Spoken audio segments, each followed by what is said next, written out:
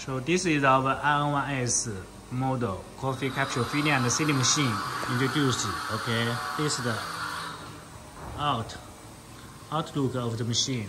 You see the control panel, inside station, vacuum controller, the alarm light.